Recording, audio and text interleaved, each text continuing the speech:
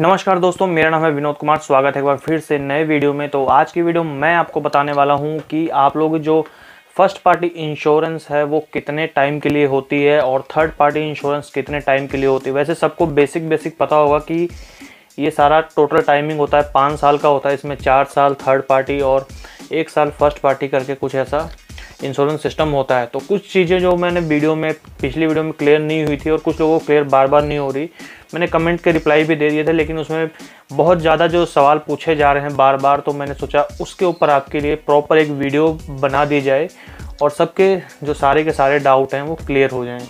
तो जैसा कि उसमें बार बार मुझसे पूछा गया है कि इंश्योरेंस मैं कहीं से भी करवा सकता हूँ?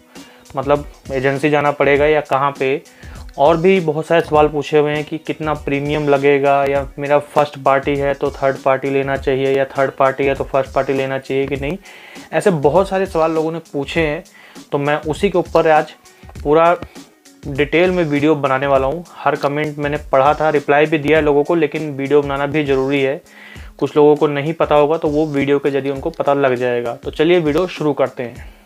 तो सबसे पहले जो मैं आपको अभी लेटेस्ट में कमेंट आया था तो उसका भी मैं जवाब देना चाहूँगा। उसमें उन्होंने पूछा था कि जो फ़र्स्ट पार्टी इंश्योरेंस होती है मतलब टोटल इंश्योरेंस होती है पाँच साल वाली, वो कितने टाइम के लिए होती है? मतलब उन्होंने ऐसे कुछ पूछा था कि एक साल प्लस चार साल होता है कि एक साल प्लस पाँच साल होता है। तो मतलब एक साल प्लस पाँच साल का मतलब ये हुआ कि थर्ड पार्टी पूरे पाँच साल के लिए और एक साल के लिए फ़र्स्ट पार्टी। तो ऐसा कुछ उन्होंने कमेंट पूछा था तो मैं उसका मैं जवाब देना चाहूँगा कि जो अपना जो इंश्योरेंस होता है, वो होता है एक साल प्लस पाँच साल। एक साल प्लस पाँच साल का मतलब ये हुआ कि जो आपका इंश्योरेंस होगा, वो फ़र्स्ट पार्टी वाला इंश्योरेंस तो चलेगा ही, साथ में आपका चलेगा थर्ड पार्टी इंश्योरेंस भी। तो वो जो होता है, अब आपको इससे थोड़ा सा एक और डाउट आएगा कि ये फ़र्स्ट पार्टी और थर्ड पार्टी का इसका प्रॉपर मीनिंग क्या होता है। तो फ़र्स्ट पार्टी इंश्योरेंस इसमें होता है आउन डैमेज मतलब जो अपना डैमेज होगा, उसका भी आपको कवर मिलेगा। और थर्ड पार्टी इंश्योरेंस में ओनली फॉर जो आपसे सामने जिसका एक्सीडेंट हुआ है, सिर्फ़ और सिर्फ़ उसको मिलेगा, आपको कुछ भी नहीं मिलने वाला। तो फ़र्स्ट पार्टी और थर्ड पार्टी में यही फ़र्क होता है। इसी को बोलते हैं फ़र्स्ट पार्टी को ऑन डैमेज मतलब ओडी भी बोलते हैं और थर्ड पार्टी को तो थर्ड पार्टी बोलते ही हैं। तो दोनों में ये फ़र्क है। और जो फ़र्स्ट पार्टी होती है, वो पूरे के पूरे सिर्फ़ एक साल के लिए होती है और थर्ड पार्टी पूरे पाँच साल के लिए होती है, ठीक है? कि कुछ लोगों का डाउट होगा कि एक साल सिर्फ़ सिर्फ़ फ़र्स्ट पार्टी होगा थर्ड पार्टी नहीं होगा तो ऐसा नहीं है। थर्ड पार्टी भी साथ में होता है और फ़र्स्ट पार्टी क्योंकि उस टाइम अगर आपका एक्सीडेंट हुआ तो उस टाइम आपको भी मतलब पैसे और जो भी क्लेम वगैरह होता है, वो मिलेगा और जो थर्ड पार्टी जो आपके सामने वाला जो पर्सन है, उसको भी आपको मतलब क्लेम मिलने वाला है। और ये सिर्फ़ और सिर्फ़ एक साल के लिए होता है आउंड डैमेज, फ़र्स्ट पार्टी, बाकी सारा सिस्टम होता है थर्ड पार्टी का। तो सबसे पहला जो मेरे से सवाल बार बार पूछा गया है, वो पूछा गया है कि मेरी जो बाइक है, उसकी कॉस्ट मतलब बाइक की कॉस्ट एक लाख रुपए है तो उसका जो फ़र्स्ट पार्टी दोबारा से रिन्यू होगा, वो कितने का होगा? तो मैं आपको जैसे कि बता दूँ, जो फ़र्स्ट पार्टी जो रिन्यू दोबारा से होता है, उसमें हमेशा बाइक की जो मतलब जो आपकी जो नई बाइक की वैल्यू थी, जैसे एक लाख रुपए है, और अभी इस टाइम आपकी बाइक की वैल्यू हमेशा आपकी बाइक की वैल्यू सेम नहीं रहती। आपकी बाइक की वैल्यू शोरूम से निकलते ही कम हो जाती है।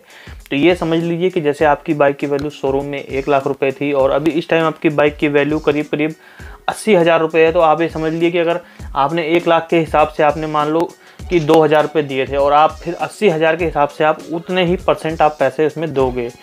तो इसमें कहने का मतलब ये है कि आपकी बाइक की जितनी भी वैल्यू है, उस हिसाब से ही आपको पैसे उसमें देने हैं। बाइक की कुछ परसेंट वैल्यू के हिसाब से होता है।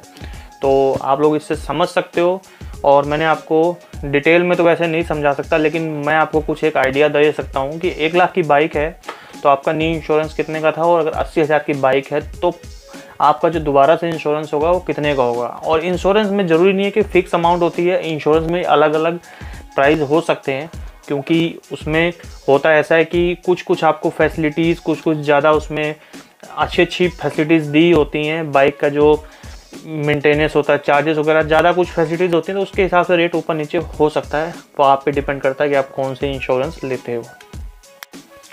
अगला सवाल जो मैं आपको बताना चाहूँगा, वो लोगों ने पूछा हुआ है कि क्या मैं अपनी इंश्योरेंस को कहीं से भी करवा सकता हूँ कि मुझे एजेंसी ही जाना पड़ेगा? तो ऐसा नहीं है, आप एजेंसी नहीं जाओगे तो कोई दिक्कत नहीं है। आप कहीं से भी आप अपनी इंश्योरेंस करवा सकते हो ऑनलाइन भी हो जाती है। आजकल बहुत सारी कंपनी है, उस पर फ्लिपकार्ट फ़ोनपे एको और दुनिया भर की बहुत सारी है। हर कंपनी हर बैंक का ऑनलाइन सिस्टम भी है। और अगर आपको ऑनलाइन समझ में नहीं आता तो आप जाके किसी भी बैंक से करवा सकते हो। वहाँ पे आपको बैंक से आराम से मिल जाएगा। किसी भी बैंक से जाके करा लीजिए। वहाँ पे इंश्योरेंस डिपार्टमेंट होता है। वहाँ bike insurance car insurance health insurance हर चीज़ अलग अलग होती है। तो इंश्योरेंस के लिए ज़रूरी नहीं है एजेंसी ही जाके करवाइए।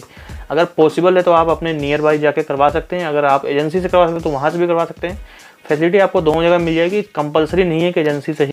एक सवाल ठीक पहले सवाल से ही मिलता जुलता इसमें भी लोगों ने यही पूछा है कि अगर मैंने अपनी इंश्योरेंस को करवा लिया, मान लीजिए आपने अपने इंश्योरेंस को, पहले आपकी इंश्योरेंस थी आई से और अभी आपने इंश्योरेंस करवा लिया आपने एचडीएफसी से तो दोनों में फ़र्क हो गया। पहले आपकी आई से थी और अब एचडीएफसी से है। तो लोगों का इसमें भी कन्फ्यूज़न है कि हाँ ऐसा कैसे हो सकता है? मतलब इसमें मुझे प्रीमियम मतलब प्रीमियम तो मैं भरूँगा, उसमें मुझे क्लेम मिलेगा कि नहीं मिलेगा? तो मैं आपको सबसे पहली बात बड़ी बता दूँ कि इसमें आपको क्लेम मिलेगा, बिल्कुल हंड्रेड परसेंट मिलेगा।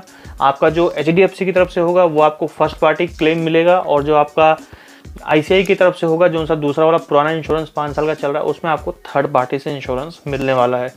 तो ऐसा नहीं है कि आपको प्रीमियम नहीं मिलेगा। कुछ लोगों को लगता है कि मतलब दूसरी वाली से कोई लफड़ा ना हो जाए तो ऐसा नहीं है। वो अपना काम करेगी, ये अपना काम करेगी। आप जो है पाँच इंश्योरेंस ले लो।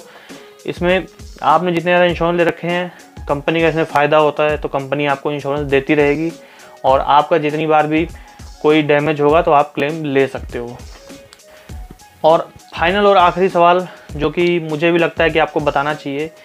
एक, कुछ ही लोगों ने वो पूछा था और कहते कि मतलब अगर मैं इंश्योरेंस को रिन्यू ना करवाऊँ, जैसे कि मेरी पाँच साल की इंश्योरेंस है, उसमें से एक साल मेरा फ़र्स्ट पार्टी ख़त्म हो चुका है और बाकी चार साल बचा हुआ है तो रिन्यू ना करवाऊँ तो मुझे कोई दिक्कत तो नहीं होएगी।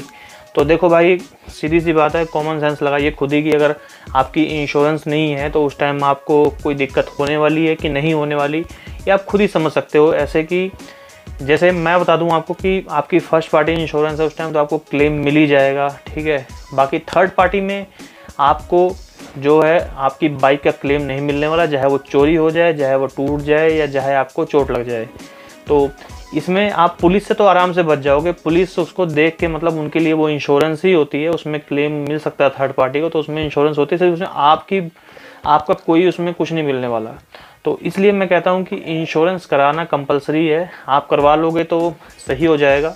वैसे नहीं करवाओगे तो पुलिस से तो आप बच ही जाओगे। जैसे होता है ना, कुछ लोगों के पैसे नहीं होते कुछ टाइम तक तो थोड़े दिन तक कर सकते हो, लेकिन आप जल्द से जल्द इंश्योरेंस करवा लीजिए, ताकि आपकी आगे के फ्यूचर में कोई भी दिक्कत ना आशा करता हूँ आपके सारे कमेंट्स के जवाब मैंने दे दिए होंगे। और भी जिन लोगों को थोड़ी बहुत भी इस वीडियो से शिकायत थी या जानकारी मिसमैच हो रही थी, वो सारी कुछ इस वीडियो के ज़रिए क्लियर हो गई होगी।